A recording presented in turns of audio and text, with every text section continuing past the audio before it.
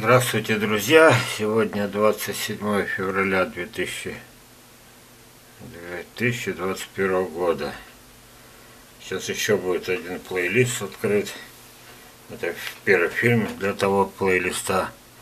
Почему он тут нужен? Потому что есть вещи, которые не входят ни в какие рамки. И все-таки хотелось бы, чтобы они знали. Вот Бог мне дал особое наблюдательность, особое, особое э, видение этой, этого мира. Поэтому мы с вами окунемся в него. Вот.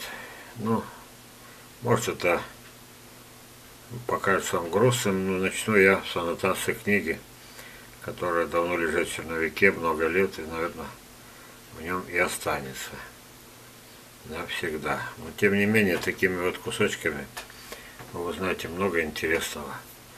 Поехали. Я буду собственный текст произносить вслух по моей собственной э, цитате. Лучше один раз услышать, чем сто раз увидеть. Как-то не странно звучит. Мы с вами с экрана, многие из нас, я в том числе, читать не можем, не хотим а вот слышать уже становится намного легче. Вот. Имеющие уши, да услышит. Наверное, я так назову это все. Потом весь плейлист. Имеющие уши, да услышит.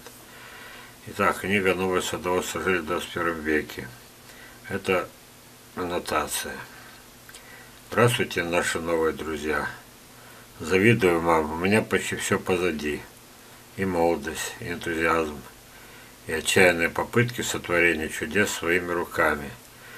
Увы, сбылись почти все мечты. Я потом покажу фотографии, только не забудьте быстренько сбегать за валидолом.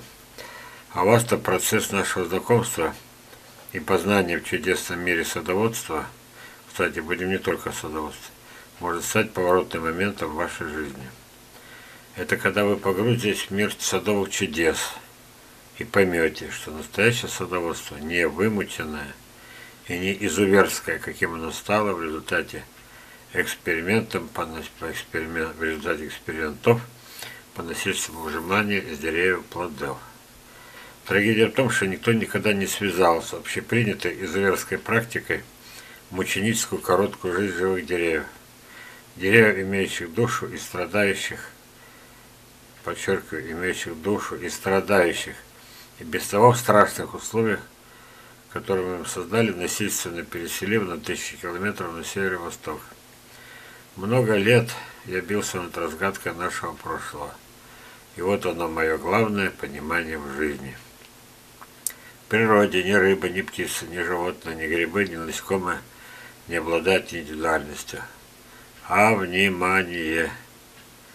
Индивидуальностью – это когда каждый личность обладают только люди, оккультуренные растения и домашние животные. Но вот однажды произошел страшнейший силой катаклизм, а затем и одичание именно высокоразвитых людей и высокоразвитых деревьев с плодами, обладающим абсолютно райским вкусом. Одичание, только благодаря которому мои деревья выжили. Ну а далее все как у гибридов происходит.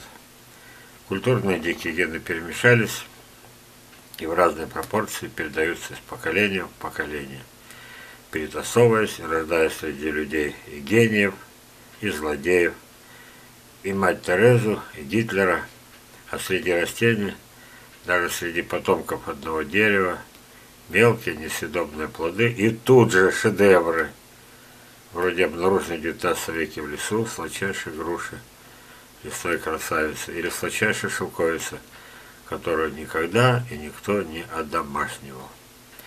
Примеры жизни. Есть страшные варварские хирургические методы по работе с людьми, но спасительные. А то бы и меня уже давно не было бы в живых. С помощью скальпеля и ниток нас режут, сшивают, и этим продляют жизнь. И тут же кто-то это делает без ножа с помощью наложения рук. Это потому, что мы живые, а значит имеем душу и общаемся еще и с помощью душевных движений. То же самое происходит и при общении с нашими друзьями-растениями. Ведь уже никто, кроме кучки фанатов, не против замены важнейших органов у человека. И вот она дилемма. Запрет или благословение на прививки деревьев. Заметьте, у нас пришивают и печень, и почки, вот, и много чего еще, и сердце. А во мне прекрасно уживается и практика прививок, и практика посадок и выращивания колесовских деревьев. Первое. Мы достигли совершенства как хирурги, а точнее столеры, сращивая с помощью привычного ножа две половинки, дикую и культурную. А ведь есть люди-садоводы, умеющие это делать тоже без ножа, только с помощью ласковых рук и любви к растениям. Мы, имеющие именно смешанные сады, где уживаются и дикие, и полукультурные, и культурные растения, получили потомство от них из удивительных разноплановых косточек, сочетающих и морозостойкость, и качество плодов, пусть не со всех, но с большими шансами. Лично мой например в том, что я пропагандирую начинать именно сеянцев, выращенных на месте, без единой пересадки, обрекающей деревья на короткую жизнь. Второе. Хочу применить самый простой, дешевый и эффективный способ, сочетающий два, казалось бы, антагонистических способа – варварская рутинная прививка и сеянцевое выращивание. Это когда, первое, сеются рядом, первое, моростойкие, полудикие, полукультурные абрикосы, сливы, вишни. Синица в руках. Ну, да, добавлю от себя полный погреб, набитый холодильник, соки, компоты, варенье, ой, прочее. Второе. Культ, это уже как минимум. Культурные абрикосы, сливы, вишни, черешни, персики. Жураль в небе. И третье. То есть, если они дойдут до плодоношения. Но шанс, но риск. Третье. Уже ближайшей весной Б переносится на А в виде прививок. И получается жар птица. И может быть именно с этого разговора и знакомство с своей технологией, противоположно общепринятой, нас станет больше. Повторяю в очередной раз, внимание. Мы потомки тех, кто жил в Эдеме, в скобках в раю, и передал нам маниакальное желание, раз уж не вернуться в рай, то создать подобие рая на своем участке и возродить райские сорта силой любви к природе и ее лучшим детям, плодовым растениям и плодам – пищей для нас, птиц, животных, насекомых. Против нас ополчилась природа, но мы прячемся под крышей домов и теплое одеяло. А как растения со сладкими плодами? Они тоже приспособились, приспособились. У них выращенных из косточек два пути – умереть или отдичать. Я так думал, пока несколькими пересевами и последовательными прививками – всего за несколько лет значительно не улучшил вкус маньчжурской абрикосы, китайских слив, сибирских вишен. Вот так. На рынок не надейся. Шансов менее 1%, а жизнь-то всего-то несколько десятков человеческих. Вершина успеха. Работа с непересаженными растениями по новой технологии, самыми разойкими в мире подвоями и самыми роскошными привоями. Удачи вам, новых друзей, из душевных людей-садоводов и растений зачарованный сибирский садовод Валерий Константинович Железов. На этом все заканчивается. А теперь давайте перенесемся, знаете куда? Вот сюда. Вот. Вот эти фотографии, сейчас придется как-то их раз, два, три, четыре, пять. Да. Ага. Значит, эти фотографии те самые, которые я предлагал вам смотреть с помощью валидола. Их много, но у меня 20 минут, пока не отключится камера, которая выключается сама, не спрашивает согласия. А давайте мы сейчас каждый из них будем вот так рассматривать. Вот так направлю. Вот, комментировать я сегодня не буду. Потом вам захочется иметь то же самое.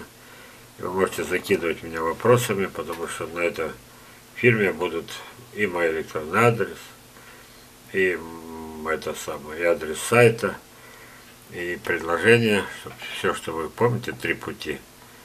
Синица в руках, вот журавль в небе и жар птица. что все это будет и у вас. Вот. Давайте, поехали. Так, сейчас мне надо немножечко это дело поправить. Минуточку. Это времени много не займет. Потому что чуть-чуть камеру надо вот так вот сделать. Вот, наверное, вот так.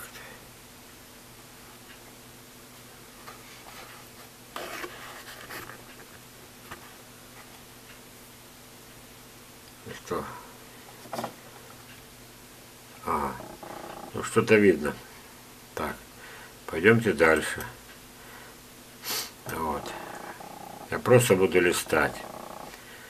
Без комментариев. Хотя мне так хочется начать рассказывать про каждого, каждого дерева. А таких фотографий вы еще не видели. Большую часть не видели. А каждое дерево это личность. Это настоящая личность. Вот. Валидол не забыли. Лучший сад России, но не нужны почему-то науки. Меня больше всего это ошарашивает.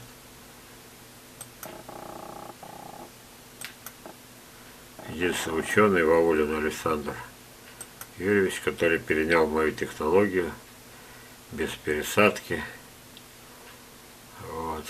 без ухода.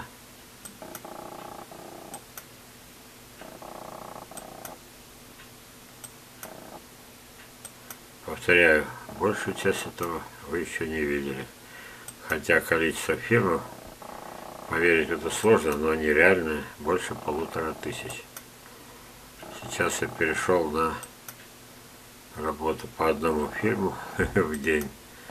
Вот лишь бы только мои друзья успевали эти фильмы брать и э, превращать их в конфетку, то есть оформлять, чтобы была музыка, все было красиво.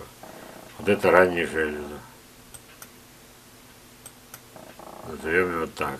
Фотографии старые, еще с тех времен, когда мы их называли, помните, мыльницами, еще раньше были эти самые, как, ой, уже память подводит, еще прежние.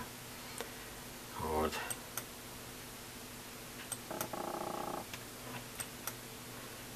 Жаль, что какая-то темень на экране, мне кажется. Почему-то на экране намного темнее, чем в жизни. Мне кажется, вот это вот сейчас я включу настольную лампу. Не, не повлияло. Ну ладно, все равно видно. Что-то же видно. А как их не видишь? Где-то же плоды гиганты. Меня железо упрекали в гигантизме. Представляете? Мой сад расплылся по соседям, двинулся. Места было мало. Вот они, соседи. Многие из этих фотографий украдены. В прямом смысле, вот это украдено. А украдено никак просто ставили в свои сайты. Вот. Своих садов нет, а саженцами торгуют. Один из главных феноменов, почему-то не разгаданных ни Министерством внутренних дел, ни прокурорами, вот, никем. Идет дикий миллиардный грабеж, миллиарды, миллиарды из кармана. А ничего этого у них нет. Я хоть страхую своих девочек фотографирую, чтобы меня не обвиняли в том, что эти плоды нарисованы или сделаны в Крыму.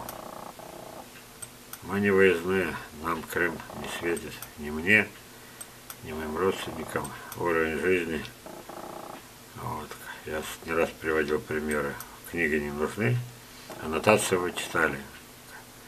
Красивая, зовущая вдаль аннотация но книга никогда не будет напечатана. Зарабатывать я уже 71 год. Вот такие дела. Какой там Крым. Свою профессию называю одной из самых низких между теми, кто копает землю и работает лопатой, метлой. Это дворники, гробокопатели. Вот. разнорабочие настройки. Вот это мой уровень. Ученые заявили. У один, один такой есть статья и фильм. Вот. Если бы знали.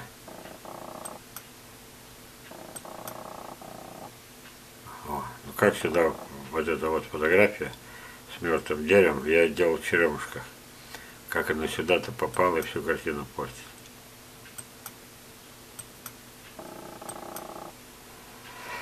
Вот.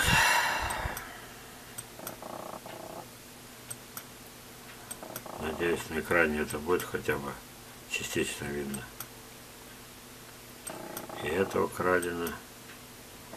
Рекордсмен, ой, не буду называть, крупнейший в России питомник, который выращивает всякую ерунду, а 90, вот еще это украдено. Куча питомников украдено. Вот. Потом обратите на него внимание.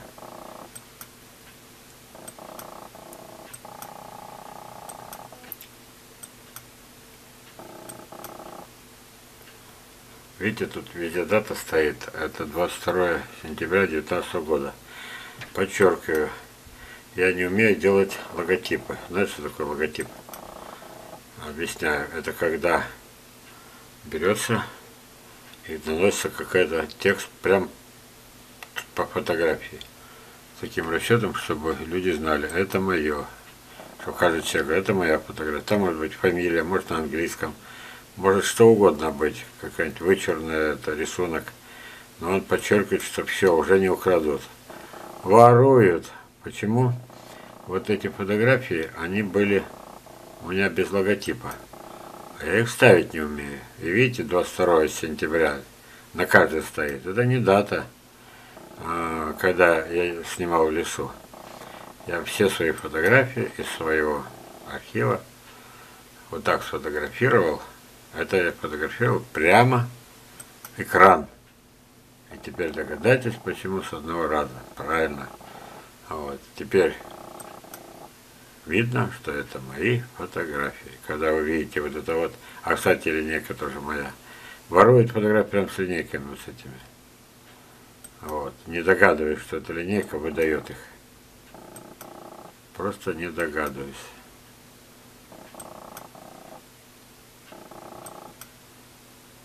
Вот этого любят воровать. 500 грамм яблочко. Скромно такое, 500 грамм.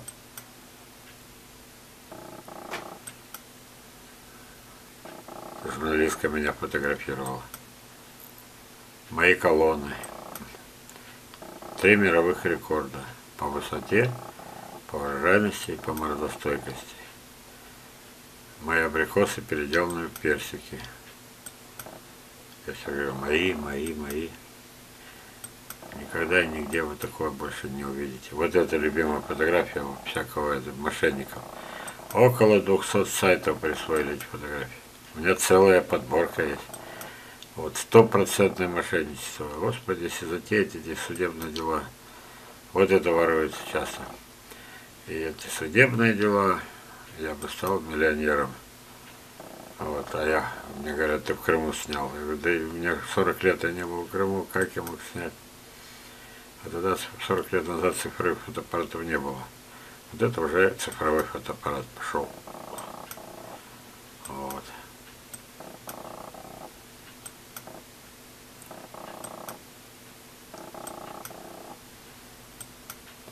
Большинство этих фотографий вы не видели, но тем не менее, это мой сад. Это мой почерк, это мой забор. Вот красота какая. Сам не верю. Сейчас ущипните меня, я проснусь и окажусь среди ранеток.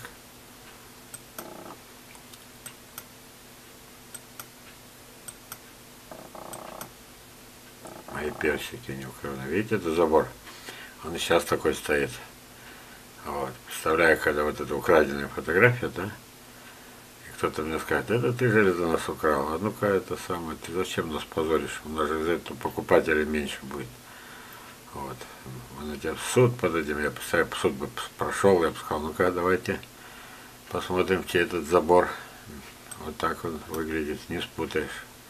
Это тоже, он же только то в торце мы были, а теперь мы смотрим на него вот так. Вон, видно мои ливневые эти самые стоки.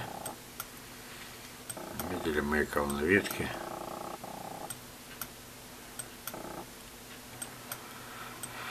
Красота какая. Сколько у нас там времени еще? Ну-ка. 22 минуты. Еще 7 минут. Я буду листать, но не спеша, чтобы вы могли разглядеть. Что все это не сказки. Некоторые сравнивают мою уличную вишню с черешней, говорят, моя вкуснее. Есть тому примеры. Вот редкий случай. Африканец. Степная вишня кислятина была. Внедрил гены черешни, стало вкуснее. О, привез Украины, оказалось, что это с Канады. Правильное название Квинти. Но это мне украинский садовод продавая черенки назвал Квинто. Даже ранетки те. О. Вот жалко, теряя вот эти сорты, сорта. Суслепского, великолепный сорт, у меня больше нет. Единственное, дерево упало, ураганный ветер, а замены нет, места нет, денег нет. Вот так и живем, теряя вот это все. 71 год. Вот он, мировой рекордсмен, любуйтесь. Самая высокая, самая урожайная, самая растойкая колоновидная яблоня в мире. В мире, подчеркиваю. Вот. Совершенно не надо науки. Косарский пепенчик. Приезжает ко мне сам в Курдюму. Я говорю, пошли к соседу, он, он увлекается этими самыми э, полукультурками и ранетками. Он в них не влюблен. Приезжаем, приходим к соседу, а вот, он видел эту фотографию у меня на сайте. Мы книгу уже писали. Вот, пишем книгу, приходим к соседу, а ее нету. Спилил. Я ему насадил крупноплодных. Так он взял вот это вот, спилил. Он меня, Курдюмов, заставил уважать полукультурки. Все-таки это страховой фонд, а ничего попало.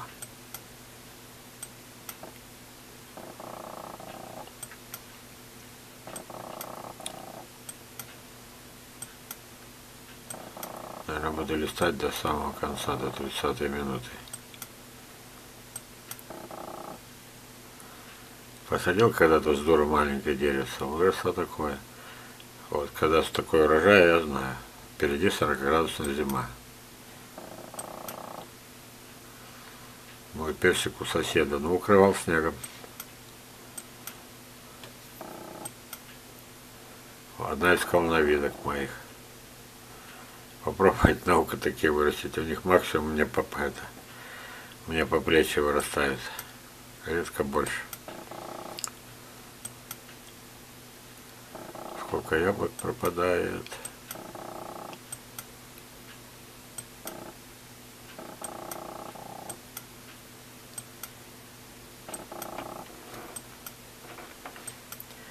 первый видите полторы тысячи фильмов.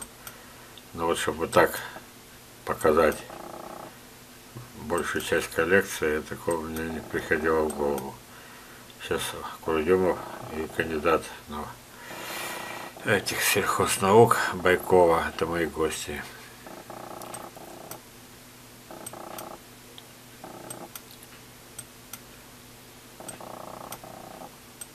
Мои личные клоны личное, подчеркиваю, личное. Такого нет нигде и никогда. Персики, переделанные сливы.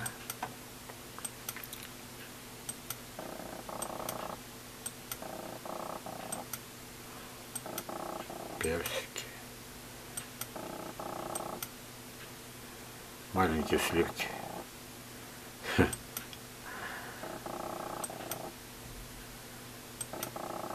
Меня упрекают в гигантизме. Вот, у них меньше питательных веществ. Вот. Сахара-то у них точно больше в этих плодах моих гигантах. Именно гигантах. Ну, что там меньше каких-то питательных веществ. Я говорю, господи, да давайте всю страной вырастим вот эти вот гиганты, а потом уже будем ковыряться. Вот. Полезны они, не полезны. А?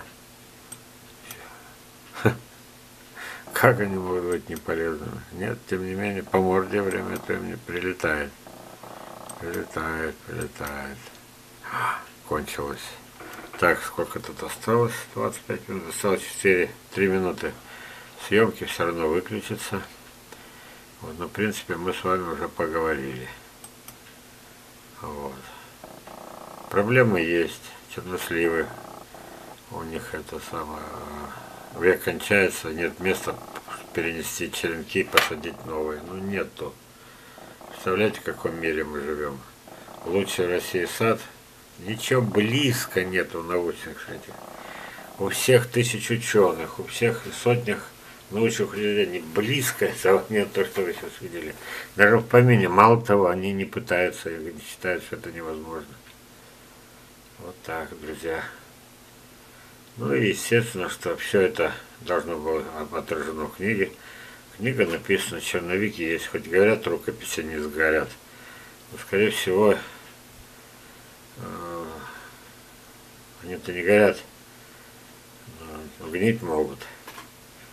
Вот на этой грустной ноте мы с вами расстаемся.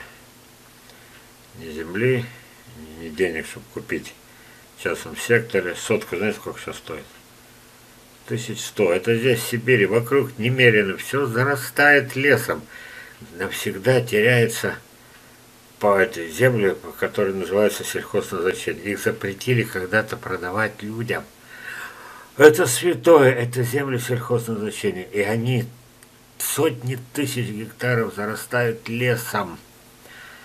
Лес нам нужен. То есть пра-пра-прадеды, то есть пра-пра, нет, наоборот, как их называют, потомков. Вот. Внуки, правнуки – начнут этот лес а, перерабатывать, когда ему станет 30-40 лет, 50. А сейчас он зарастает, а на нем нет, не нашлось несколько соток, чтобы вот этот чернослив, еще пока живо последнее дерево этого чуда и чудес. Вот это волжская красавица, знаменитый сорт. Его уже на Волге забыли. Все сейчас гниет, сейчас все деградирует.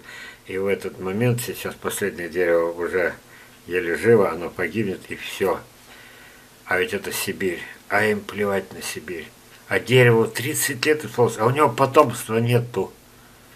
Несколько соток в Сибири, где миллионы, ну сотни тысяч этих самых гектаров, уже не соток, гектаров земли зарастает лесом, не нашлось. А два соседа продают рядом.